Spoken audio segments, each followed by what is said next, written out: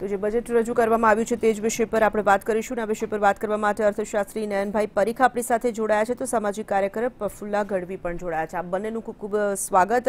નયનભાઈ જે રીતે આ આંકડા સામે આવી રહ્યા છે જે રીતે આ યોજનાઓની જાહેરાત કરવામાં આવી રહી છે કેવી રીતે જુઓ છો આજના બજેટને હું કહું છું કે ગુજરાતની જરૂરિયાતો જે છે એ સમજીને અત્યારે જો બજેટમાં સરકારની જ્યારે બહુમતી છે અને સરકારની પાસે જ્યારે ઘણા વર્ષો છે ત્યારે અમુક ચેન્જીસ લાવ્યા હોત તો આપણને જાણે વધારે આનંદ થયો હોત. પણ જે મને ખાસ પગલાં ગમ્યા છે એમાં સોલર એનર્જીને જે એન્કરેજ કરવાની વાત કરી છે. કારણ કે હમણાં છેલ્લા હું મારો જ અનુભવ કહું તો બે એક મહિનાથી એમએનઆરઈ જે રાષ્ટ્રીય એજન્સી છે એ સબસિડી નથી આપતી એટલે અહીંયા ઘણા રૂફટોપમાં સોલર એનર્જી લગાડવાના કામો અટકી પડ્યા છે. હવે જો રાજ્ય સરકાર પોતે કહે કે એ લોકો અમુક કિલોવોટ સુધી ચાળીસ ટકા અને પછી વીસ ટકા સબસિડી પોતે આપે તો મારા ખ્યાલથી આપણે કોઈ સેન્ટર પર એને માટે નિર્ભર થવાની જરૂર ના પડે. એટલે સોલર એનર્જી એક મહત્ત્વની કડી બને છે. એના સિવાય હું ગણું છું કે જે એમણે વાત કરી છે એજ્યુકેશનની હવે એજ્યુકેશનમાં હું ગણું છું, આપણે એક મૂળભૂત ફરક લાવવાની જરૂર છે કે આપણી પાસે અત્યારે એન્જિનિયરિંગ સીટ્સ આ વખતે તમે જોશો તો અડધોડ જ ખાલી છે. એટલે હવે વધારે કોલેજીસ બનાવવાની જરૂર છે આપણે કે જે કોલેજીસ સારી છે એને ગુણવત્તા સુધારવાની જરૂર છે. એ બાબતમાં આપણે જે બજેટમાં ફાળવણી કરીએ એમાં પણ જો આપણે કોલેજો વધારવા કરતાં ગુણવત્તા કેવી રીતે વધારીએ કેવી રીતે આપણી કોલેજીસ જે ઇન્ડસ્ટ્રીને માણસો જોઈએ છે એ પ્રકારના માણસો આપે એ બાબતનો જે સોફ્ટવેર હાર્ડવેર પર ખર્ચો કરવા કરતા કરવાની જરૂર છે, એ મારા હિસાબે મહત્વનું છે. એવી જ રીતે મને સડકમાં લાગે છે. આપણે સડકો વધારે બનાવવાની જરૂર છે કે સડકો બરાબર વપરાય એના માટેની જરૂર છે. એટલે આપણે લોકોએ હવે હાર્ડવેરની જગ્યાએ સોફ્ટવેર ઉપર કામ કરવું પડશે. આપણે સામાજિક રીતે કામ કરવું પડશે કેવી રીતે આપણે સડકો વધારે વાપરીએ. હવે સડકો વધારે વાપરીએ એટલે કે વધારે ઇન્ટેલિજન્ટલી વાપરીએ. જેમ પરદેશમાં આટલી જ સડકો પર એક્સિડન્ટ ઓછા થાય છે સ્પીડ વધારે થાય છે કારણ કે આપણે નિયમો પ્રમાણે જઈએ છીએ. એ પ્રમાણે આપણે જો ખાલી સડકો વધારીશું તો ઇનફેક્ટ અમદાવાદમાં અને ગુજરાતમાં સારી સડકો હોવાના કારણે એક્સિડન્ટ વધારે થાય છે. કારણ કે લોકો ફાસ્ટ જાય છે અને નિયમો પ્રમાણે નથી જતા. એટલે હવે ખરેખર આપણે એવું સ્ટ્રક્ચર ઊભું કરવાની જરૂર છે, જેમાં આપણું ઇન્ફ્રાસ્ટ્રક્ચર સારી રીતે વપરાય, આપણા લોકોની સામાજિક ટેવો બદલાય, જેમાં આપણે આ ઇન્ફ્રાસ્ટ્રક્ચરનો સારી રીતે ઉપયોગ કરી શકીએ. એવી જ રીતે મને હેલ્થમાં લાગ્યું કે આપણે એમ્બ્યુલન્સીસ વધારી છે, બહુ સારું છે, જરૂરી છે. પણ હેલ્થ ખરેખર એક કોમન માણસને એક જે રીતે પોતાને પોસાય એ રીતે થાય, હેલ્થ અવેલેબલ થાય, હેલ્થ કેર એ જરૂરી છે. આપણે લોકો અત્યારે કદાચ થોડું અમેરિકન મોડલ ફોલો કરીએ છીએ કે જેમાં ઇન્સ્યોરન્સ બેઝિસ ઉપર કોઈ પણ હોસ્પિટલમાં તમે દાખલ થાવ એટલે એક તમારી ઇન્સ્યોરન્સની એલિજિબિલિટી પ્રમાણે ચાર્જ કરી દેવામાં આવે છે. એના કરતાં આપણે જે એક એક સામાન્ય માણસને એને આસપાસ ડૉક્ટર હોય, એની આસપાસ પ્રાઇમરી સેન્ટર હોય હેલ્થનું એમાં કેવી રીતે એને હેલ્થની સુવિધા મળે એ બાબતમાં જો ગુજરાતમાં કંઈક શરૂઆત કરીએ તો એ સારું લાગે છે. બિલકુલ. પ્રફલાબેન તમે કેવી રીતે જોઈ રહ્યા છો જે રીતની જાહેરાતો કરવામાં આવી છે વાતનો સમાવેશ કરવામાં આવ્યો બજેટમાં એને લઈને? પહેલાં તો આ વિઝનરી બજેટ નથી. હમ. બહુ લોંગ વિઝન કેમ કે જો તમે વિચાર કરો નીતિનભાઈ એમ કહે છે કે આ સાતમું બજેટ રજૂ કરી રહ્યા છે આટલા ટાઈમથી એમની સરકાર છે. અને છતાં પણ હજુ બેઝિક પ્રશ્નો ઉપર જ આપણે આવીને અટક્યા છીએ. એમાંથી આગળ વધતા જ નથી. વાતો વિકાસ વિકાસ. ખાલી રોડ રસ્તા બનાવો ઇન્ફ્રાસ્ટ્રક્ચર બનાવવાથી વિકાસ નથી થતો. બીજું તમે જુઓ સાયન્સ અને ટેકનોલોજીમાં કંઈ એટલું બધું બજેટ ફાળવવામાં આવ્યું નથી જેની અત્યારે જરૂર છે. હેલ્થ અને એજ્યુકેશન એના માટે એક ક્રાઇટેરિયા હોવો જોઈએ કે અમુક એરિયા છે, અમુક વસ્તી ધરાવે છે, તો ત્યાં એજ્યુકેશન માટે પણ એક શાળા કોલેજ હોવી જોઈએ અને ત્યાં એક એવી હોસ્પિટલ પણ હોવી જોઈએ, જેના કારણે પાછી શું થાય છે કે કમ્પેરિટિવલી આ હોસ્પિટલ કરતાં બીજી વધારે સારી છે એટલે લોકો દૂર જાય છે. પણ સેમ ફેસિલિટીઝ જો બધી હોસ્પિટલમાં આપવામાં આવે, અદ્યતન સાધનો પણ બધે મળી રહે, તો લોકોને દૂર જવાની જરૂર ના પડે. એટલે આ થોડું બેલેન્સ કરવાની પણ જરૂર હતી, જેમાં બેલેન્સ નથી થયું ક્યાંય. યુવા રોજગારની ક્યાંય વાત આવી નથી. કોલેજો તો ખુલી રહી છે. પેલું જેમ તમે જુઓ ને કે જેટલા બિલ્ડિંગ્સ તમે જુઓ, તો મોટે ભાગે કશોક ને કશાક કોર્સિસ ને બધું ચાલતું જ હોય છે. એ પ્રમાણે પછી એ લોકોને રોજગાર મળતો નથી, એટલે શિક્ષિત બેકારોની સંખ્યા વધતી જાય છે. એટલે આ એક ભયજનક સાબિત થાય છે સમાજ માટે. એટલે એના એના માટેની પણ કંઈક યોજનાઓ હોવી જોઈએ. હમ. જે રીતે નંદભાઈ થોડા દિવસો પહેલાં જે આંકડા આવ્યા હતા અને તેમાં દીકરાઓની પ્રમાણમાં દીકરીઓની સંખ્યા જે રીતે ઘટી રહી છે, ખૂબ જ ચિંતાજનક બાબત આખી જે સામે આવી હતી. તેને લઈને સરકારે કંઈક વિચારણા કરવી જોઈએ. વાલી દીકરીને લઈને આજે ખાસ કરીને તેમણે જાહેરાત જે કરી છે, એક નવી યોજના જે હવે અમલમાં મૂકવા જઈ રહ્યા છે. પરંતુ એની સાથે સાથે એટલો જ મહત્વનો અને અગત્યનો પ્રશ્ન બની રહ્યો છે સુરક્ષાને લઈને. હવે દીકરીઓ સુરક્ષિત નથી, તે પ્રકારનું વાતાવરણ બનતું જઈ રહ્યું છે. તો તે દિશામાં કોઈ જાહેરાત કે કોઈ કોઈ એ દિશામાં વિચારવામાં આવ્યું હોય એવું નથી લાગી રહ્યું. તમે વાત કરીએ બરાબર છે. તો જે આપણો સેક્સનો જેન્ડર રેશિયો જે રીતે એડવર્સલી અફેક્ટ થતો હતો એના પ્રમાણે એટલીસ્ટ એક વાલી દીકરીનો કાર્યક્રમ કરી અને એવું એક વાતાવરણ ઊભું કરવાનો પ્રયત્ન કર્યો છે કે જેથી દીકરીને તમે એક બોજરૂપ ના જુઓ. એટલે તમારે ત્યાં દીકરી પેદા થાય ત્યારથી માંડી અને એ અઢાર વર્ષની થાય ત્યાં સુધી એકાદ લાખ રૂપિયાની જે પ્રોવિઝન કર્યું છે એ સારું છે. પણ એમાં પાછું નીતિનભાઈ કહ્યું એટલે આપણે વિગતો જોઈશું. પણ એમણે કહ્યું છે કે આપણે કંઈક એમાં ઇન્સ્યોરન્સ કંપની જોડે વાત કરી રહ્યા છીએ. એટલે અમુક સરકાર એનું પ્રીમિયમ આપશે અને પછી એ પ્રીમિયમ માટે કોઈ ઇન્સ્યોરન્સ એજન્સી આ પૈસા આપશે. એટલે આની એક વ્યવસ્થા એવી ઊભી થાય કે જેથી ખરેખર જ્યારે દીકરી પેદા થાય અને દીકરી અઢાર વર્ષની થાય ત્યારે આ પૈસા મળે તો એક એ એ વ્યવસ્થા બહુ મહત્વની છે. અને તો આ જરૂર એ મદદરૂપ થશે. પણ તમે જે વાત કરી એ વધારે મહત્વની છે કે ખરેખર જે નારી સુરક્ષાની વાત છે એ બાબતમાં આપણે કેવી રીતે કોઈક આગળ વધીએ? એટલે જે આપણે ત્યાં પ્રસંગો બની રહ્યા છે જેમાં કોઈ એક સ્ત્રીને આપણે કહેતા કે ગુજરાતમાં અને અમદાવાદમાં તો ગમે ત્યારે રાત્રે બાર વાગે બે વાગે પણ સ્ત્રીઓ જાય તો સેફ અનુભવે છે? એ સેફટી કેવી રીતે હવે કોમ્પ્રોમાઇઝ થઈ રહી છે? એ સેફટીમાં આપણે આગળ શું કરી શકાય? કેવી રીતે આપણી મહિલાઓ ગમે ત્યારે બહાર નીકળે તો એમને એક સેફટી મહેસૂસ થાય? જે લોકો આ સેફટી ઉપર પ્રહાર કરે છે, એ લોકોને કેવી રીતે આપણે રોકી શકીએ? એક, જે ગુનેગાર માટે ડરનું વાતાવરણ ઊભું કરીએ, આપણે ત્યાં જેમ દરેક રોડ ઉપર આપણે સીસીટીવીની વ્યવસ્થા રાખવી જોઈએ. દરેક જગ્યાએ જે એક સુરક્ષા માટેના ઉપકરણો બધા ઊભા કરવા જોઈએ. એમાં સરકાર કયો રોલ પ્લે કરી રહી છે? કોઈ પણ માણસ જો આવો કોઈ ગુનો આચરે, તો એને તરત જ કેવી રીતે આકરી સજા થાય? એ બધાની વ્યવસ્થા કરીશું તો આપણે જે પણ મહિલાઓ આપણે ત્યાં કંઈક ઇન્સેન્ટિવ પામે છે એ સુરક્ષા પણ પામશે. અને તો આ ચીજ મહત્વની થશે. એ ઉપરાંત મને લાગે છે કે જ્યારે આપણે એમ્પ્લોયમેન્ટમાં પંદર લાખ એમ્પ્લોયમેન્ટ આવતા બે વર્ષમાં કે વર્ષમાં આપવાની જે એક એક યોજના ઘડી છે એમાં કોઈ વિગતો જો આવે તો આપણને બધાને એક સધિયારો બંધાય કે ખરેખર આ થવાનું છે. કારણ કે પંદર લાખ નોકરીઓની વાત કરવી તો આસાન છે, પણ એના માટે જો આપણે કંઈક અનાઉન્સમેન્ટ સ્ટાર્ટઅપ માટે સાંભળ્યું હોત, કારણ કે હું ઘણી યુનિવર્સિટીમાં બોર્ડમાં જોડાયેલો છું, એટલે મને ખબર છે કે યુનિવર્સિટીઝમાં સ્ટુડન્ટ્સ નીકળે એ બધાને જોબ નથી મળતી. અને એ જોબ જો મળે તો અમુક પ્રકારની મળે છે દૂર મળે છે એ લોકો લઈ નથી શકતા. તો એ લોકોને પોતાને કંઈક પોતાનું સ્ટાર્ટઅપ ઇન્ડસ્ટ્રી કરે અને એના માટે સ્ટાર્ટઅપ માટે રાજ્ય સરકાર મદદ કરે એવી થોડી યોજનાઓ કાર્યાન્વિત છે. પણ હજુ હું ઘણા સ્ટાર્ટઅપ વાળાને ઇન્ડિવિજ્યુઅલી ઓળખું છું જે વિદ્યાર્થીઓ અને યુવાનો પાસે પોતાનો એક આઈડિયા છે પણ એને નાણાં નથી મળતા એને બીજી સહાયતા નથી મળતી. રાજ્ય સરકાર તરફથી આપણે જો પહેલ કરીને લોકો આપણા જે વિદ્યાર્થીઓ છે એને એમ્પ્લોયમેન્ટ સીકરની જગ્યાએ એમ્પ્લોયમેન્ટ ગીવર બનાવીએ. કે એ લોકો પોતાનો કોઈ નાનો એવો વ્યવસાય ચાલુ કરે નાનો પોતાનો આઈડિયા અમલમાં મૂકે જેથી પોતે નોકરી શોધવાની જગ્યાએ બીજા બે લોકોને નોકરી આપે તો એવા પગલાં થકી આપણે આ પંદર લાખ નોકરીઓની ખરેખર તકો ઊભી કરી શકીશું. અધરવાઇઝ એ વાત આપણી રહેશે પણ આપણે વર્ષના અંતે બાજુ જોઈશું તો આપણને લાગશે કે આપણે એટલી નોકરીઓ પૂરી નથી પાડી શક્યા. આ પ્રમાણે હું ગણું છું ગુજરાતમાં જે આપણું ઇન્ડસ્ટ્રીયલ ડેવલપમેન્ટનું મોડેલ છે એમાં પણ આપણે ઇન્વેસ્ટમેન્ટ કેટલું આવ્યું? જેમ આપણે ત્યાં જ્યારે પણ વાઇબ્રન્ટ થાય ત્યારે પણ આપણે ઇન્વેસ્ટમેન્ટ કેટલું આવ્યું એને મહત્વ આપીએ છીએ. પણ એ ઇન્વેસ્ટમેન્ટ સાથે એમ્પ્લોયમેન્ટ ઓરિએન્ટેડ ઇન્વેસ્ટમેન્ટ આવે. એટલે દરેક એક રૂપિયો જે ગુજરાતમાં ઇન્વેસ્ટ થાય છે એ કેટલી નોકરીઓ જનરેટ કરે છે.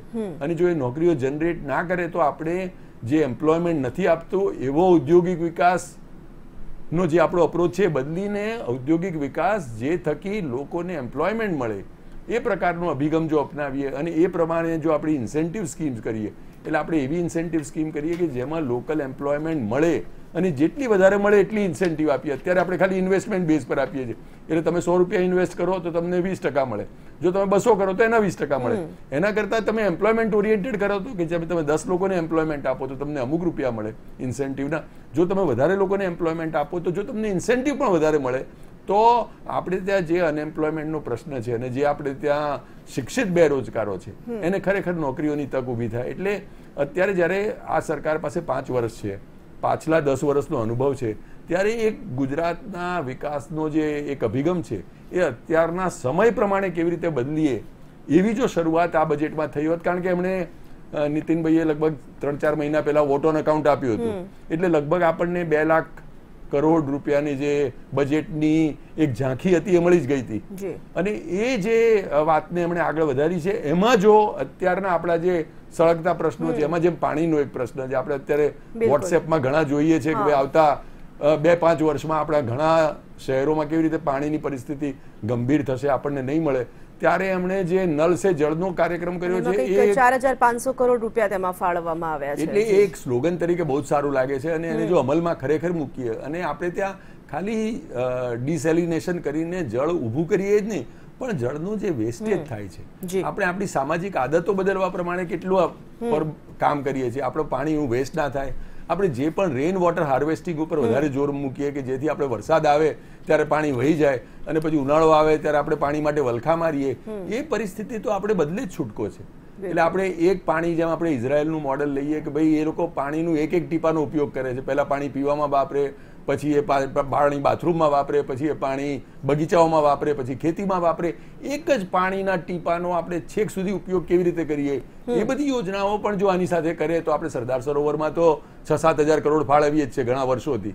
અત્યાર સુધી આપણે લગભગ પચાસ સાહીઠ હજાર કરોડ રૂપિયા ખર્ચી ચૂક્યા છીએ. પચાસેક હજાર કિલોમીટરનું કામ થયું છે પણ ખરેખર આ પાણી લોકો સુધી પહોંચે અને એ પાણી લોકો એનો બરાબર ઉપયોગ કરે? સાથે સાથે વરસાદનું પાણી પણ બરાબર વપરાય. આપણા જે પાણીનો રીયુઝ છે ત્રણ ચાર વારનો મલ્ટિપલ યુઝ એ થાય. એ પ્રમાણેનો જો અભિગમ કરીએ તો ખરેખર જે પીવાના પાણીનો પ્રશ્ન આખા દેશમાં એક અને આખી દુનિયામાં સળગતો પ્રશ્ન છે.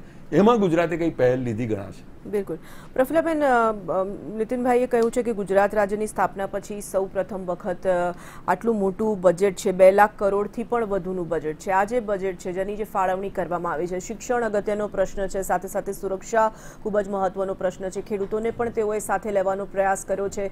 પાણી જે હવે સૌથી મોટી સમસ્યા બનતું જઈ રહ્યું છે, એને પણ સોલ્વ કરવા માટેનો પ્રયાસ કરવામાં આવેલો છે. પણ ક્યાંક એવું પણ લાગી રહ્યું છે કે કેટલાક આયામો એવા છે જે ક્યાંક છૂટી ગયા છે.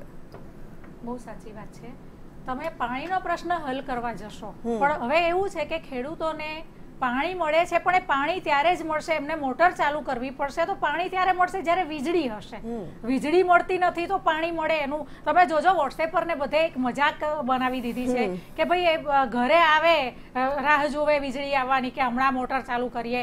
એ બિચારા કંટાળે થાકે ચોમાસું હોય શિયાળો હોય ઉનાળો હોય રાતના સમયે એમને પણ ક્યાંક જીવજંતુઓનો ઝેરી જનાવરોનો ડર લાગતો હોય એવા સમયે એ લોકો પરિવાર છોડીને રાતના પણ કામ કરવા કેમ કે વીજળી રાતના જ અપાય છે. તમે જોજો બીજા બધા ઉદ્યોગોને ચોવીસ કલાક વીજળી ફાળવવામાં આવે છે ફેક્ટરીઓને એને બધામાં. જ્યારે ખેડૂતોને વીજળી રાત્રે જ આપવામાં આવે છે એ લોકોને જે કલાક કહે છે કે અમે આટલા કલાક આપીશું એમાં તો સતત કાપ હોય છે. એટલે પૂરતી વીજળી પણ મળતી નથી. એટલે કદાચ પ્રોબ્લેમ ત્યાં થઈ રહ્યો છે કે શહેરીકરણ વધી રહ્યું છે.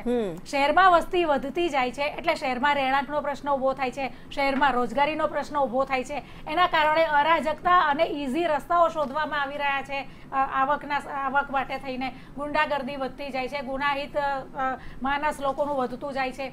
જો આ જ સગવડ ગામડામાં આપવામાં આવે ઇલેક્ટ્રિસિટી આપવામાં આવે, તો જે અહીંયા આપણે ઉપકરણો વાપરીએ છીએ ગામડામાં વાપરી શકીએ. પાણી આપવામાં આવે, એક સારી સ્કૂલ હોય, સારા રસ્તાઓ હોય, જો આ ટાઈપની ફેસિલિટીઝ મળશે તો ગામડામાંથી લોકો શહેર તરફ જે આકર્ષાઈ રહ્યા છે એમાં ઘટાડો થશે.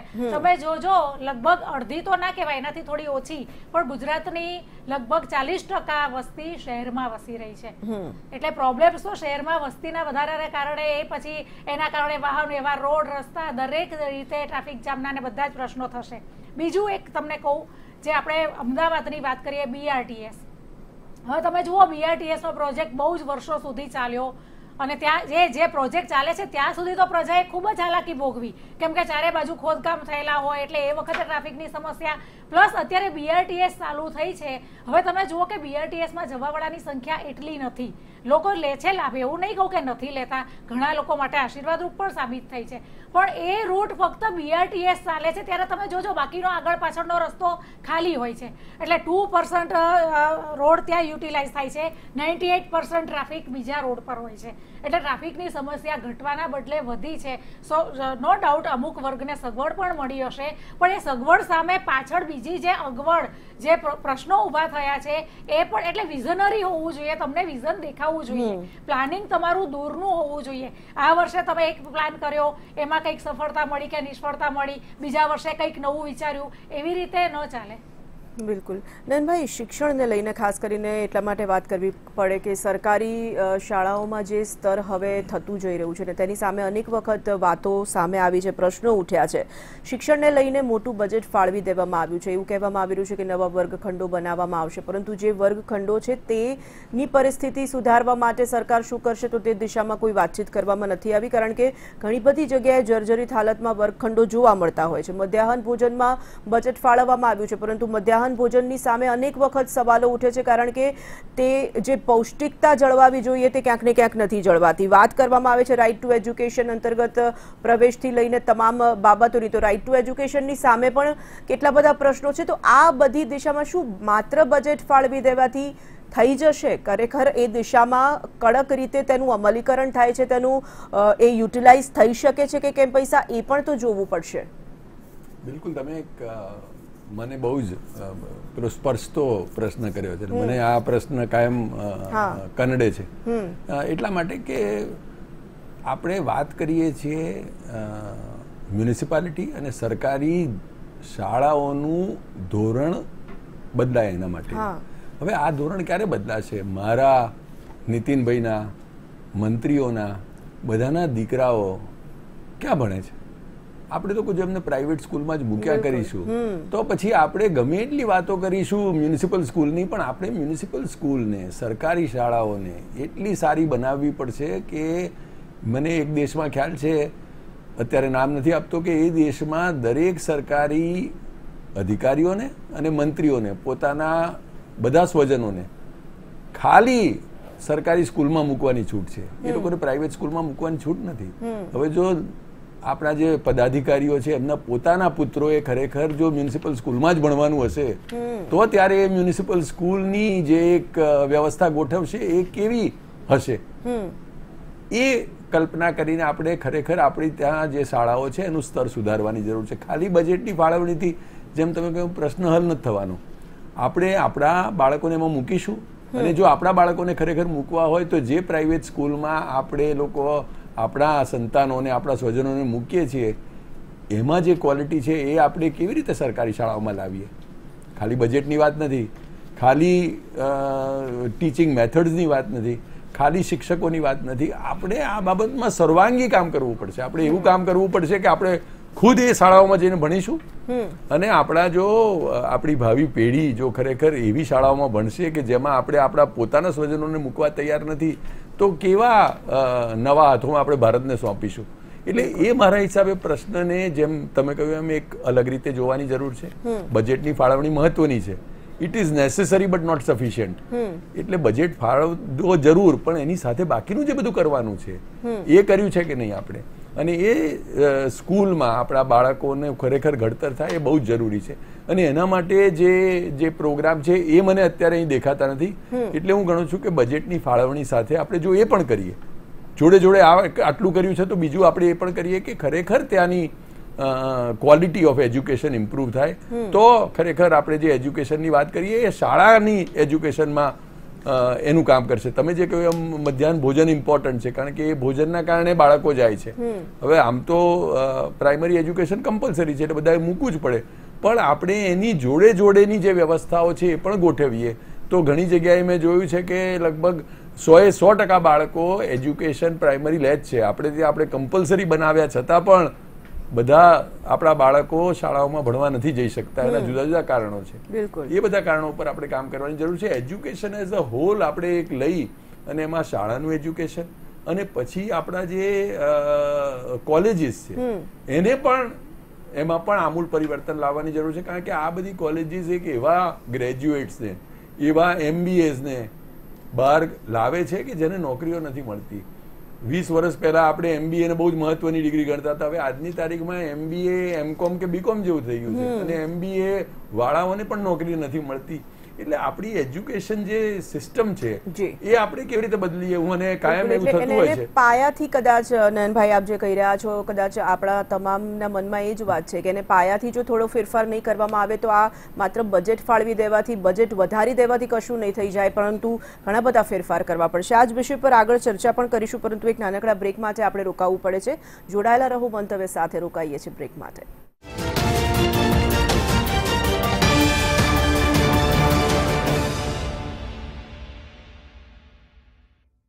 નમસ્કાર, દર્શક મિત્રો, મંતવ્ય ન્યૂઝ સાથે હું છું શિવાંગીની. સ્વાગત છે આપનું અમારી વિશેષ ચર્ચામાં જે રીતે આજે બજેટ રજૂ થવાનું હતું અને બજેટ રજૂ થઈ ગયું છે ગુજરાતની સ્થાપના થયા બાદ પ્રથમ વખત બે લાખ કરોડને પાર આ બજેટ પહોંચ્યું છે. લગભગ બે લાખ ચાર હજાર આઠસો પંદર કરોડનું આ બજેટ આજે ગુજરાત સરકારમાં ફાળવવામાં આવ્યું છે.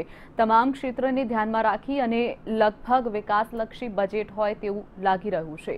આ સાથે જ આપણી સાથે અહીંયા ચર્ચા કરવા માટે ઉપસ્થિત છે નયનભાઈ પરીખ જેઓ અર્થશાસ્ત્રી છે સાથે જ પ્રફુલ્લાબેન ગઢવી જેઓ સામાજિક કાર્યકર છે. આપ બંનેનું સ્વાગત છે મંતવ્ય ન્યૂઝમાં નયનભાઈ આપને પૂછવા માંગીશ આજે જે રીતે બજેટ ફાળવવામાં આવ્યું છે ગુજરાતના ઇતિહાસમાં પ્રથમ વખત આટલું બધું બજેટ ફળવાયું છે, તેની સ્થાપના થયા બાદ પ્રથમ વખત કેવું બજેટ આપની દ્રષ્ટિએ?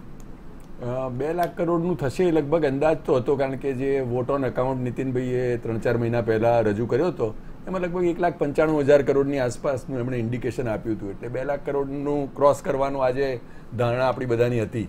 અને જે ધારણા પેલી બરાબર પણ થઈ છે, બે લાખ કરોડની આસપાસનું, બે લાખ ચાર હજાર કરોડની બજેટ સાઇઝ પહેલીવાર ગુજરાતે હાંસલ કરી છે. એ હું ગણું છું કે લગભગ દસ પંદર ટકાનો આપણો જે જીએસડીપી જે ગુજરાત સ્ટેટ ડોમેસ્ટિક પ્રોડક્ટનો ગ્રોથ છે, એ બી લગભગ આપણે ડબલ ડિજિટમાં કાયમ રાખેલો છે. અગિયારથી પંદર સોળ ટકાની આસપાસ ગુજરાત ગ્રો કરે છે. આપણે લોકો પંદર વીસ ટકાની આસપાસ ઇન્ડસ્ટ્રીયલ પ્રોડક્શન કરીએ છીએ. આપણા પોર્ટ એટલું જ ગુડ્સ એક્સપોર્ટ કરે છે ઇમ્પોર્ટ કરે છે.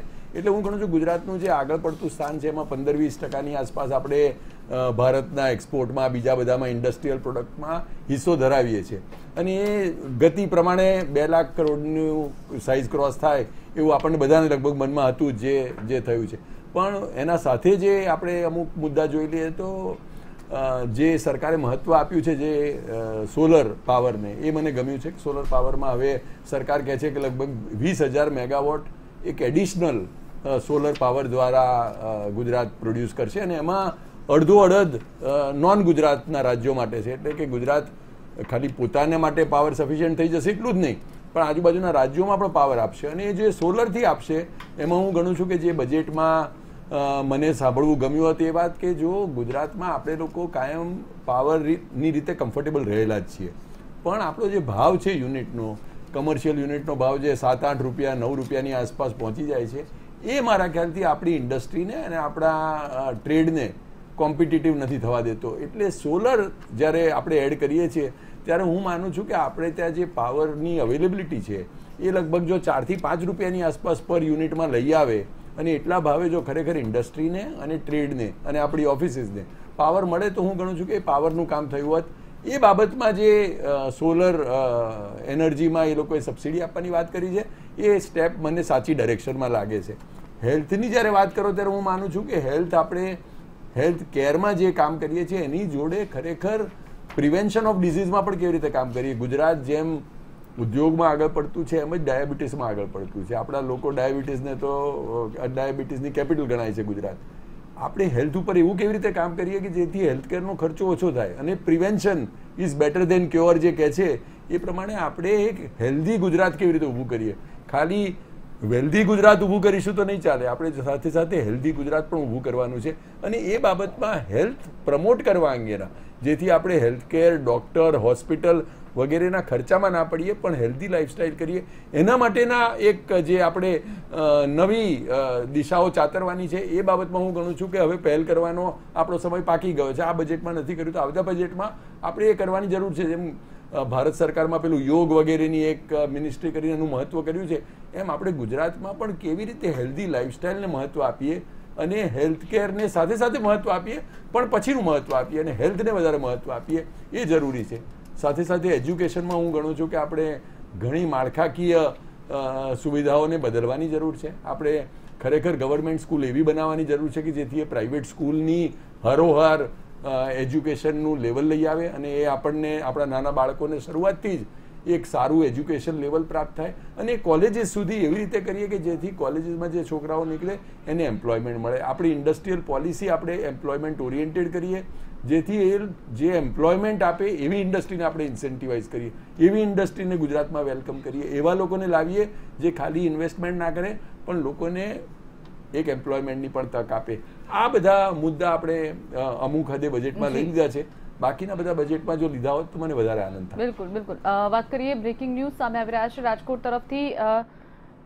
નાણાપ્રધાન નીતિન પટેલ જે બજેટ રજૂ કર્યું છે ત્યારે રાજકોટની એમ્સને પણ બજેટમાં સમાવેશ કરવામાં આવ્યો છે. બે હજાર ઓગણીસ વીસનું જે વિકાસલક્ષી બજેટ રજૂ કરવામાં આવ્યું છે. રાજકોટ વાસીઓ માટે મહત્વના સમાચાર કહી શકાય. રાજકોટ વાસીઓ માટે પણ બજેટમાં સારો એવો ફાળો આપવામાં આવ્યો છે. એમ્સ હોસ્પિટલની સુવિધામાં વધારો થશે. દસ કરોડની ફાળવણી એ એમ્સને કરવામાં આવી છે. નાણાપ્રધાન નીતિન પટેલ જે બજેટ રજૂ કર્યું છે, તેમાં રાજકોટની એમ્સને દસ કરોડ ફાળવવામાં આવ્યા છે. બીજી તરફ રાજકોટની જો વાત કરીએ તો રાજકોટમાં નવી આરટીઓ ઓફિસ પણ બનાવવામાં આવશે, જેની માટે પણ પાંચ કરોડની ફાળવણી આ બજેટમાં કરવામાં આવી છે. રાજકોટ વાસીઓ માટે સારા સમાચાર કહી શકાય. સાથે જ જે એમ્સની સુવિધાઓ છે, તેમાં પણ વધારો થઈ શકશે.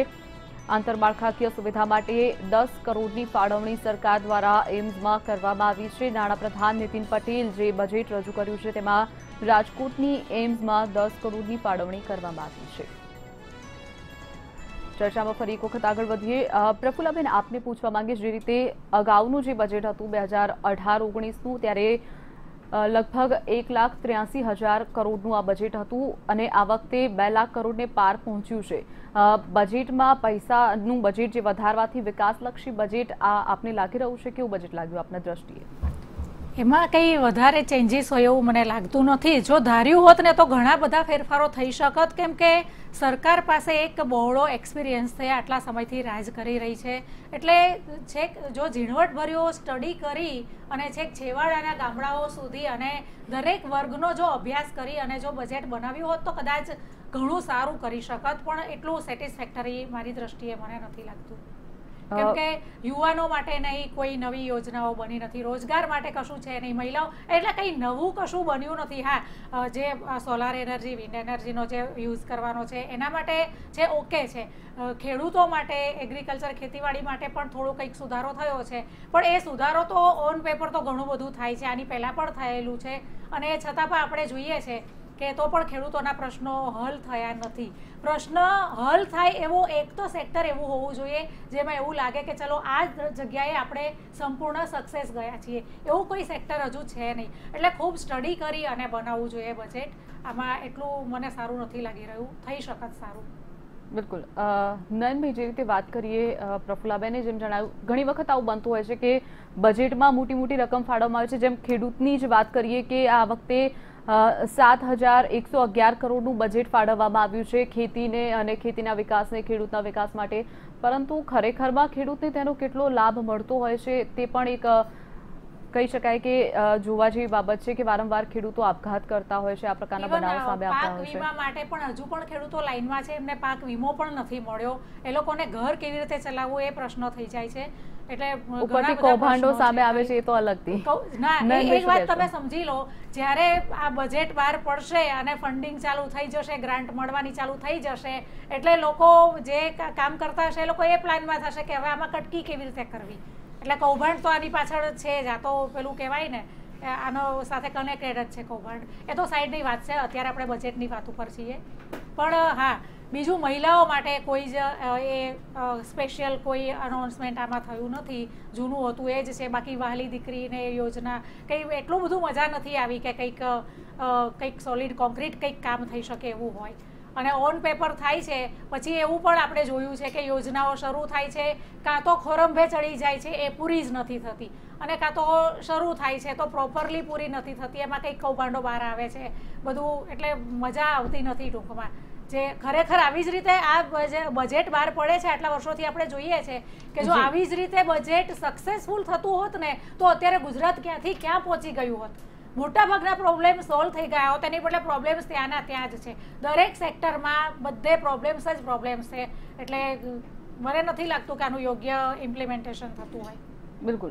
નયનભાઈ શું કહેશો? જે રીતે ખેડૂતો માટે આ વખતે સાત હજાર એકસો અગિયાર કરોડ ફાળવાયા છે.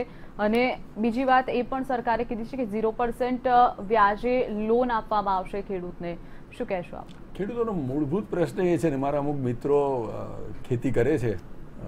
એટલે મને ખબર છે, એમના બે પ્રશ્ન, એક તો મેઇન છે. એક છે કે ખેતીનો આધાર વધારે આબોહવા પર છે, એટલે કેટલો વરસાદ પડ્યો શું તાપ થયો, એના પ્રમાણે એમનો પાક જે છે એ વધઘટ થાય છે.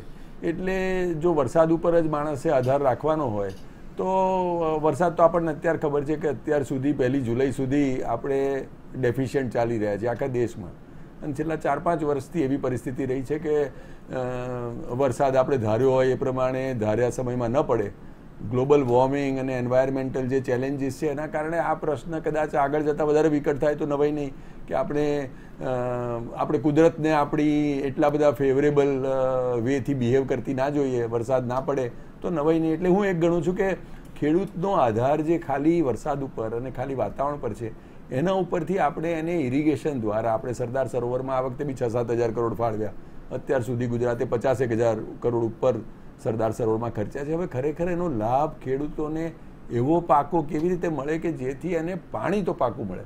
હવે જો પાણી મળે પાકું, તો એટલીસ્ટ એને વરસાદ પર આધાર રાખવાનો લિમિટેડ થઈ જાય અને એને પાકું રહે. મને પાક મારો આટલું ઉતરવાનો છે. અને બીજું, આપણી જે સમસ્યા છે ખેડૂતોની હું ગણું છું કે પોતાનો જે પાક થાય, એનો એને સરખું વળતર મળે કે નહીં? એટલે વચેટિયાઓ જે છે, એ પાકમાં સૌથી વધારે મલાઈ લઈ જાય છે. એટલે આપણા ટેબલ ઉપર જ્યાં સુધી ખેડૂતની પ્રોડક્ટ આવે, કાં તો શાકભાજી, કાં તો ઘઉં, કાં તો ચોખા, એ બધા આપણે જે ભાવ આપીએ છીએ, એનાથી ખેડૂતને કેટલા મળે છે? એ જુઓ, તો લગભગ દસ વીસ ટકા મળે છે. સિત્તેર એંસી ટકા જે છે, એ કાં તો રસ્તામાં બગડી જાય છે કે કાં તો એનો વચેટિયાઓ એનો નફો લઈ લે છે. એટલે આપણે જો એમાં કેવી રીતે કરીએ? આપણે જે ધારો કે ઉબર કરી છે. હવે ટેકનોલોજી દ્વારા આપણે આર્ટિફિશિયલ ઇન્ટેલિજન્સમાં થોડો નાણાં ફાળવ્યા છે.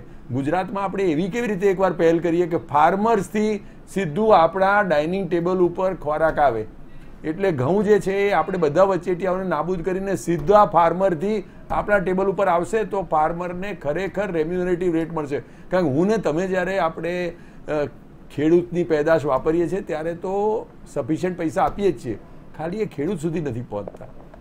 એ આપણે જો, આપણે જે આપીએ છીએ એ ખેડૂત સુધી પહોંચે નેવું ટકા બી તો ખેડૂતોનો પ્રશ્ન સોલ્વ થશે. એટલે હું ગણું છું કે ગુજરાત સરકારે આમાં એક તો ટેકનોલોજી ઉપર કામ કરવાની જરૂર છે, જેથી ખેડૂત અને વપરાશકાર વચ્ચેનો જે જે જે પેલો પ્રોફિટ બીજા લઈ જાય છે, એ ના થાય અને પાણી માટે એટલીસ્ટ ખેડૂતોને ટળવળવું ના પડે. આ બે ચીજ ઉપર જો કામ કરીએ, તો હું ગણું છું કે ફાર્મર્સને આપણે ઇન્ટરેસ્ટ ફ્રી લોન આપવાની જરૂર જ શું કરવા પડે?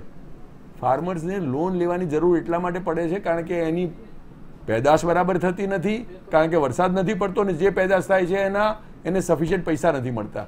એ બંને ઉપર કામ કરીશું તો આપણે ઝીરો પર્સન્ટ ઇન્ટરેસ્ટે લોન આપવાની જરૂર જ નહીં પડે. અને ખેડૂતો ખરેખર પગભેર થશે. આ બાબતમાં સરકારે કામ કરવાની જરૂર છે. બજેટ ફાળવ્યું એક વાત છે, પણ એમાં જે અપ્રોચ લાવવાની જરૂર છે એ કે જેથી આપણા જે જે પેલો, આપણે બધાને જે અન્ન પ્રોવાઈડ કરનારા છે, આપણો તાત છે, એને આપણે મજબૂત કરીએ. તદ્દન સાચી વાત છે. પ્રફુલ્લાબેન, જે રીતે વાત કરીએ કે સરકાર દ્વારા આ વખતના બજેટમાં આદિજાતિ વિકાસ માટે પણ બે હજાર ચોવીસ હજાર નવસો એક્યાસી કરોડની જોગવાઈ કરવામાં આવી છે. શું કહેશો આપ અંગે હા. હવે એ જોગવાઈ આદિજાતિના વિકાસ માટે કરી છે. એની સામે તમે જુઓ કે મેટ્રો ટ્રેન હોય કે તમે સ્ટેચ્યુ ઓફ યુનિટી હોય, ત્યારે એ બધા જ્યારે સ્ટ્રક્ચર કરવાના છે ને, ત્યારે આદિવાસીઓની જમીનો પણ લઈ લેવામાં આવી છે. એટલે ત્યાં પણ એમને વળતર પણ નથી મળતા. ઇવન એમના આંદોલનો પણ દબાવી દેવામાં આવ્યા હતા. અને બીજું અત્યારે જુઓ કે એમાંય પાછા અત્યારે પેલું રેઇનકોટ વાળું કંઈક નીકળ્યું છે એને રેઇનકોટ પહેરાવવા પડે છે, કેમ કે ચારે બાજુથી. એટલે તમે જ્યારે ખર્ચ કરો છો, એની પાછળ પછી મેન્ટેનન્સ એટલું બધું વધી જાય છે ને કે જો એ મેન્ટેનન્સના રૂપિયા એના કરતાં તમે બીજા સારી રીતે સ્ટ્રક્ચર બનાવો અને એ મેન્ટેન આ એક સ્ટેચ્યુ તો એક એક્ઝામ્પલ છે, પણ તમે રોડ્સ પણ જુઓ. કે રોડ માટે જે બજેટ હશે, તમે રોડ બનાવશો, એ પછી એ રોડ એવરી યર તમે એમાં મેન્ટેનન્સમાં ખર્ચા કરીએ જશો, કરીએ જ જશો. જો પ્રોપરલી પહેલેથી જ બનાવવામાં આવે, તો જે મેન્ટેનન્સનો ખર્ચ છે એ બચી જાય અને એમાંથી બીજા ઘણા બધા કામો થઈ શકે. એટલે પ્રોપર પ્લાનિંગથી થતું નથી. થોડો ભ્રષ્ટાચાર તો દરેક ફિલ્ડમાં છે, પણ વધારે પડતો આપણા ત્યાં છે. એટલે બીજું આદિવાસીઓ માટે બજેટ ફાળવવામાં આવ્યું છે. પરંતુ એ એવી જાતિ છે ને જે અબૂધ કહેવાય ને એ, જેમને પૂરું નોલેજ નથી. એટલે એ લોકોને ફાયદા પણ મળતા નથી અને ફાયદા લેવા જાય છે, તો એ લોકોને બહુ સમજાવી દેવામાં આવે છે. એ લોકો આગળ એમનો અવાજ પણ નથી ઉઠાવી શકતા. એટલે પ્રોપર આનો, એ ઇમ્પ્લિમેન્ટેશન થાય ને, તો તો મેં તમને કીધું ને કે આટલા વર્ષોથી આ ચાલી રહ્યું છે. ગુજરાત ક્યાંયનું ક્યાંય આગળ નીકળી ગયું હોત. બીજું એક ખેતીની ભાઈએ બહુ સરસ વાત કરી કે વરસાદ વરસાદ પર આધારિત ખેતી છે. આ એક કરુણતા કહેવાય. આટલા મોટો ખેતી પ્રધાન દેશ છે, આટલી બધી વસ્તી ધરાવે છે અને છતાં પણ આધાર આપણો વરસાદ જ છે ખેતીનો. તો ઇરિગેશન માટે હજુ પણ સૌરાષ્ટ્ર અને કચ્છના કેટલાય ગામડા એવા છે જ્યાં ડ્રિંકિંગ વોટર નથી મળતું. ખેતીવાડી તો બહુ જ દૂરની વસ્તુ રહી. જ્યાં પીવાના પાણી માટે પાંચ પાંચ સાત સાત કિલોમીટર દૂર જવું પડે અને આપણે જોતા હોઈએ છીએ કે એવું પાણી પીવે છે જેનો આપણે કદાચ વોશ કપડાં ધોવા માટે પણ યુઝ ના કરીએ. એવું પાણી તો એ લોકો પીવે છે. તો આ પીવા માટે પાણી ના મળતું હોય તો ખેતીવાડી તો બહુ દૂરની વસ્તુ રહી. એટલે પછી લોકો શહેર તરફ એટલા માટે આકર્ષાય છે. અમુક જે બેઝિક સુવિધાઓ પ્રોવાઈડ નથી થતી, એટલા માટે લોકો શહેર તરફ. બીજી વાત તમે જુઓ કે બિયારણ. એક મેં ગઈકાલે જ ક્યાંક મેં સાંભળ્યું કે ખેડૂતે એવી ફરિયાદ કરી કે બિયારણ મારે જ્યારે વાવણી કરવી હતી, ત્યારે મેં જે બિયારણ ખરીદ્યું, એ જ બિયારણ મને જે ભાવે મળ્યું. પછી જ્યારે હું એ પાક ઉગે છે અને એ હું જ્યારે વેચવા જાઉં છું, ત્યારે મને અડધા ભાવ પણ નથી મળતા. તો આ તો કેટલું મોટું ઇમ્બેલેન્સ થયું કે તમે જ્યારે ખરીદવા જાઓ ત્યારે એને વેચવા જાઓ ત્યારે પછી એ ભાવ એને નથી મળતા. તો એને જે ખરીદી કરી છે, જેણે મહેનત પ્લસ એને મજૂરી આજે વાવણી એમને એમ નથી થતી, ખેતર ખેડવું પડે છે, એના માટે મજૂરો લાવવા પડે છે. તમે જુઓ ગામડામાં મજૂરો મળતા નથી. શહેરમાં તમને કોઈ પણ લેબર ત્રણસો રૂપિયાના ભાવે મળી રહેશે ગામડામાં ચારસો ને પાંચસો રૂપિયા આપશો તો પણ મજૂર મળતા નથી. આ એક બહુ મોટો પ્રશ્ન છે ખેતીવાડી માટે કે કોઈ પણ કામ માટે ગામડામાં મજૂરો મળતા નથી, કારણ કે ગામડામાં ફેસિલિટી નથી. શહેરમાં ફેસિલિટી છે એટલે ત્રણસો રૂપિયામાં, કેમ કે બાળકોને ભણાવવા છે. ત્રણસો રૂપિયામાં મજૂરી કરશે, પણ શહેરમાં એમનું બાળક હશે તો એ સારી રીતે ભણી શકશે. એના માટે થઈને મજૂર વર્ગ પણ શહેર તરફ આકર્ષાયો છે. એટલે ગામડામાં મજૂરી પણ મજૂરો પણ મળતા નથી. એટલે ખેતીને સીધી જ અસર ત્યાં પણ થાય છે. બિલકુલ. એટલે કહી શકાય કે જે સમગ્ર બાબત જે સામે આવે છે, ખેતીને લઈને કે એક તરફ સરકાર પૂરું બિયારણ પૂરું પાડી શકતી નથી, રાસાયણિક ખાતરમાં ટેકાનો ભાવે આપે છે, પરંતુ જે બિયારણને એ આપવું જોઈએ ખરેખરમાં આપતી નથી, પાણીની સુવિધા પણ પૂરી પડતી નથી. બીજી તરફ જ્યારે ખેડૂત વેચવા જાય ત્યારે ટેકાના ભાવે પૂરા પૈસા નથી મળતા અને વચેટિયાઓ વધારે ખાઈ જાય છે. એટલે ખેતીને બચાવી રાખવા માટે જે ખેતી પ્રધાન દેશ છે ને તેની લાચારી વધતી જઈ રહી છે. હું ગણું છું કે એમાં અમુક વાર તો સરળ ઉપાયો, ટેકાના ભાવો આપણે શું કરવા આપવા પડે? આપણે હું ને તમે જે ભાવો આપીએ છીએ અનાજના, જે શાકભાજીના, એ તો સફિશિયન્ટ છે. જો એટલા ખરેખર ફાર્મરને મળે, એમાંથી દસ ટકા ઓછાય મળે, તો ફાર્મરનું તો ભલું થઈ જાય. ટેકાના ભાવ કરતાં વધારે મળે. આપણે કોઈ વાર એમાં કેવી રીતે ઉબર શોધીશું? ઉબર જેમ ભેગા કરે છે કે જે માણસોને ટેક્સી સર્વિસીસ આપવી હોય છે ને લેવી હોય છે, એના વચ્ચેની એક ટેકનોલોજી ઊભી કરી છે. હું ને તમે જો અનાજ વાપરીએ છીએ, તો અનાજ પેદા કરનારો આપણો જે ખેડૂત છે, એને જો મારા ડાયરેક્ટ ટચમાં મૂકી દે હું જે ભાવ આપું છું, એના દસ વીસ ટકા એજન્સીવાળો લઈ જાય, ઉબરવાળા પચીસ ત્રીસ ટકા લઈ જાય છે. પચીસ ત્રીસ ટકા લીધા પછી પણ જો ડાયરેક્ટલી સપ્લાયર અને પ્રોડ્યુસર, આપણે જે ફાર્મર અને કન્ઝ્યુમર, એ બંને જો એક પ્લેટફોર્મ ઉપર આવી જાય, જો બંને સીધે સીધા કામ કરવા માટે જોડે રહીને તો ખરેખર ફાર્મરને કોઈ ટેકાના ભાવોની જરૂર જ નથી. ફાર્મરના માટે આપણે એ પ્રોડક્ટના એટલા ભાવ આપવા તૈયાર છીએ જ, આપીએ જ છીએ. ખાલી અમને સુધી પહોંચતા નથી. કેવી રીતે એવી વ્યવસ્થા ઊભી કરી? અને ગુજરાત તો દરેક બાબતમાં ભારતમાં અગ્રેસર છીએ. ઇન્ડસ્ટ્રીમાં આપણે આગળ છીએ. આપણે પોર્ટમાં આગળ છીએ. આપણે બાકીના બધી વેલ્થમાં આગળ છીએ. હેલ્થમાં ખરેખર પાછળ છે જેમાં આપણે આગળ વધવાનું છે. એકદમ ડાયાબિટીસને બધામાં આપણે કેવી રીતે આપણા ખાલી હેલ્થથી નહીં ચાલે? ખાલી વેલ્થ પહેલાં હેલ્થ છે. આપણે ઓલ ઓફ અસ છે કે પહેલું સુખ તે જાતે નર્યા, પછી બાકીનું બધું. તો આપણે ગુજરાતને કેવી રીતે એક હેલ્ધી રેસમાં બનાવીએ? આપણે ડાયાબિટીસની કેપિટલ બનાવવાનો, આપણો જે બનવાનો એક શ્રાપ છે એ કેવી રીતે આપણા માથા પરથી એ કાળી ટીલીએ દૂર કરીએ? હેલ્ધી લાઈફસ્ટાઈલ અને સાથે આપણે જે આપીએ છીએ એ ટેકાના ભાવમાં સરકારે આવવાની જરૂર જ નથી. ટેકનોલોજી દ્વારા આપણે લોકો જે પૈસા આપીએ છીએ જો ખેડૂત સુધી પહોંચી જાય, સીધે સીધા. અને ખેડૂત જ્યારે કંઈ બનાવે ત્યારે આપણા સુધી પહોંચી જાય તો આ બધા પ્રશ્નોનો હલ થઈ જશે અને સાથે બિયારણ અને પાણી ઇરિગેશન જો આપણે આપવું પડશે. પાણી માટે જો ઉપર આકાશમાં જઈને ખેડૂતે રાહ જોવાની રહેશે કે ક્યારે વરસાદ પડે, તો તો કેવી રીતે એનું ચાલશે? આ પ્રશ્નો ઉપર કામ કરીશું તો મારા ખ્યાલથી ગુજરાતે ભારત માટે એક લીડ લીધી કહેવાશે અને આપણે એક ગુજરાત થકી ભારતને એક નવી દિશા આપી શકીશું. બિલકુલ. નયનભાઈ જે રીતે વાત કરીએ નીતિન પટેલ જ્યારે બજેટ રજૂ કરવાના હતા, તેની પહેલા જે મીડિયા સમક્ષ તેમણે નિવેદન આપ્યું કહ્યું હતું કે આ બજેટથી ગુજરાત એ વૈશ્વિક સ્તરે ઓળખ ઊભું કરી શકશે. શું આપને લાગી રહ્યું છે બજેટ જોયા બાદ?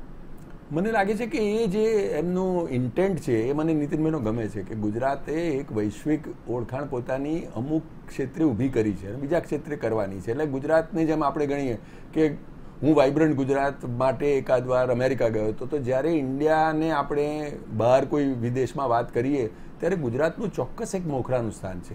એટલે કોઈ પણ જો ઇન્ડસ્ટ્રીયાલિસ્ટ જો ઇન્ડિયામાં મૂડી મૂડી રોકવા માંગે, તો ચોક્કસ ગુજરાતને કન્સિડર કરે. આઈટી હોય તો બેંગ્લોરને કન્સિડર કરે. એમ ગુજરાતની એક ઓળખ છે, પણ મેં કીધું ગુજરાતની ઓળખ હવે ક્યારે એક નવી ઊભી થાય? કે આપણે હવે સડકો ના બનાવીએ, પણ આપણી સડકોને સેફ બનાવીએ. ગુજરાતમાં આપણે સૌથી ઓછા રોડના એક્સિડન્ટ લાવીશું. ગુજરાતમાં આપણે સેફ ટ્રાન્સપોર્ટેશન કરીશું. ચાઇનામાં એક ટ્રક એક દિવસમાં ગુજરાતમાં અથવા ઇન્ડિયામાં જે ડિસ્ટન્સ કાપે, બસો ત્રણસો કિલોમીટર, પેલું પાંચસો છસો કિલોમીટર કાપે છે. કારણ કે રોડ્સ આર સેફ. રોડમાં રૂલ ઇમ્પ્લિમેન્ટ થાય છે. આપણે એમાં પહેલ કરીશું. આપણે હેલ્થની વાત કરીએ તો આપણે ખરેખર હેલ્ધી ગુજરાત તરફ વધીશું. હેલ્થ એટલે મારા હિસાબે હોસ્પિટલ નથી. હેલ્થ એ છે કે જ્યારે તમારે હોસ્પિટલ જવાની જરૂર ના પડે. હેલ્થ એ છે કે તમારે મેડિકલ ચીજો ઉપર ઓછામાં ઓછો ખર્ચો કરવો પડે. આપણે prevention is better than cure ગણીને કેવી રીતે ગુજરાતને એક હેલ્ધી લોકો અને એક હેલ્ધી લાઇફસ્ટાઇલ તરફ વાળીશું વેલ્થમાં આપણે આગળ છીએ અને એ આપણે જાળવી રાખવાનું છે. પણ આપણી જે ઇન્ડસ્ટ્રીયલ પોલિસી છે, એમાં આપણે ખાલી ઇન્વેસ્ટમેન્ટની જગ્યાએ એમ્પ્લોયમેન્ટને કેવી રીતે મહત્વ આપીએ? આપણે અત્યાર સુધી એટલું જ કરીએ છીએ. આટલું ઇન્વેસ્ટમેન્ટ આવ્યું, આટલું ઇન્વેસ્ટમેન્ટ આવ્યું, એ બધું કરવા કરતાં આપણે એવું કરીએ કે આ એક લાખ એમ્પ્લોયમેન્ટ આવી. આપણે ઇન્ડસ્ટ્રીને ઇન્વેસ્ટમેન્ટની જગ્યાએ એમ્પ્લોયમેન્ટની ઓળખ આપીશું કે કેટલા મારા ગુજરાતના યુવાનોને આમાં નોકરી મળશે. તો આપણે એક નવી વૈશ્વિક ઓળખાણ ગુજરાતની ઊભી કરીશું. મારા હિસાબે આ બજેટમાં જો એ નીતિનભાઈએ કર્યું હોત તો એક સારી શરૂઆત થાત. પણ એક આપણે એમણે ઇન્ટેન્ટ કર્યો છે મને ગમે છે. એમણે એક એટલી પત્રકારો સમક્ષ વાત કરી. એક વિચારથી શરૂઆત થઈ છે. એ વિચારને હવે કેવી રીતે આપણે એકચ્યુઅલ એક્શનમાં લઈ આવીએ. એ કાયમ ચેલેન્જ છે. પણ એમણે વાત કરી છે તો મને આશા છે કે આ વખત નહીં ને આવતા વખતના બજેટમાં આપણે ચોક્કસ એક ગુજરાતની વૈશ્વિક ઓળખાણ ઓળખાણ ઊભી કરીશું અને એ તક આપણે ચોક્કસ ગુમાવવી ના જોઈએ. નયનભાઈ વાત કરી સાથે સરકારે ખાનગી ક્ષેત્રમાં કામ કરતા કર્મચારીઓ માટે પણ જે ભથ્થું પૂરું પાડવાની વાત કરી છે, પૈસા ચૂકવવાની વાત કરી છે, તે અંગે શું કહેશો મને બહુ જ ગમ્યું ખરેખર જેમ આપણે ગયા બજેટમાં ઇન્ડિયાના બજેટમાં આપણે જેમ રજૂ કર્યું હતું કે ભાઈ દરેક માણસ જેને નોકરી કરી હોય અને પછી જો પ્રાઇવેટ સેક્ટરમાં બી નોકરી કરી હોય, અને પ્રાઇવેટ સેક્ટરમાં પછી એની નોકરી છૂટી જાય, તો એને એક ભથ્થું મળે. એવી રીતે હું ગણું છું કે સરકારી નોકરીનું જે એક આકર્ષણ છે એ શું છે? કે એમાં ભથ્થા મળે છે, એમાં તમને પરમેનન્ટ એમ્પ્લોયમેન્ટ મળે છે. પ્રાઇવેટમાં તમે પરમેનન્ટ એમ્પ્લોયમેન્ટ ચોક્કસ નથી આપી શકતા, કારણ કે તમારે સાથે પરફોર્મન્સનો એક ભય પણ બતાવવાનો છે. કારણ કે સાવ, લોકોને સાવ પરમેનન્ટ જોબ મળશે તો એ લોકો કેટલું સારું ડિલિવર કરશે કે નહીં, કામ એ જોવાનું છે. પણ at least ભથ્થા wise at least financial reward wise આપણે એક ઊભું કરીએ તો આપણે એ હું ગણું છું આ કોમ્બિનેશન છે. પ્રાઇવેટ સેક્ટરની એક એફિશિયન્સી અને ગવર્મેન્ટ સેક્ટરનું ભથ્થું એ બંને જો મળે અને એને જો ખરેખર હજુ આપણે એની વિગતો આવવાની બાકી છે, પણ બજેટમાં જો એને ખરેખર સારી રીતે એને જો એક કોમ્બિનેશન ઊભું કરે, તો જેમ પ્રાઇવેટ સેક્ટરમાં હું ને તમે કામ કરીએ છીએ, હવે પ્રાઇવેટ સેક્ટરમાં જે મારે ત્યાં નોકરી કરે છે, એ માણસને જો સરકારી ભથ્થું પણ થોડું મળે, તો મારા તરફથી તો એમ્પ્લોયમેન્ટમાં પગાર મળે જ છે એને. પણ એને ભથ્થું મળે, કાલે ઉઠીને એની નોકરી ના હોય તો પેન્શન જેવી એક વ્યવસ્થા મળે જે આપણે ગયા વખતના બજેટમાં છે આ બધું જો થાય ખરેખર તો આપણે પ્રાઇવેટ સેક્ટર અને પબ્લિક સેક્ટર વચ્ચે કે સરકારી નોકરી અને પ્રાઇવેટ નોકરી વચ્ચેનું જે એક મોટી ખાઈ છે અને જેથી બધાને પ્રાઇવેટ નોકરીથી સરકારી નોકરી તરફ જવું ગમે છે એ આપણે બેનું કોમ્બિનેશન ઊભું કરવાની જે વાત કરી છે મને ગમે છે. અને એ માટેનું એક ખાલી નાનું એક પહેલું સ્ટેપ લીધું છે. પણ હજુ ઘણા આમાં પગલાં લેવાના બાકી છે. પણ મારા હિસાબે આ ચોક્કસ પગલું એક સાચી ડાયરેક્શનમાં છે. બિલકુલ.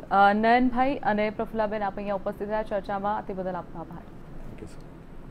તો વાત કરીએ જે રીતે બજેટની ચર્ચા કરી બજેટમાં ઘણી બધી વાતો કરવામાં આવી છે. ખૂબ જ મોટું બજેટ પણ ફાળવવામાં આવ્યું છે. બે લાખ ચાર હજાર આઠસો પંદર કરોડનું બજેટ ગુજરાતમાં પ્રથમ વખત ફળવાયું છે. પરંતુ આ બજેટમાં જે જે ખેડૂત માટે છે વિકાસ માટેના જે કાર્યો કરવાની વાત કરવામાં આવી છે, ખરેખરમાં તેનો લાભ લોકો સુધી પહોંચશે, ખેડૂત સુધી પહોંચશે, તે પણ એક હજુ તેની ઉપર પ્રશ્નાર્થ યથાવત રહેશે. આ સાથે ચર્ચામાં અત્યારે બસ આટલું રજા આપશો. નમસ્કાર.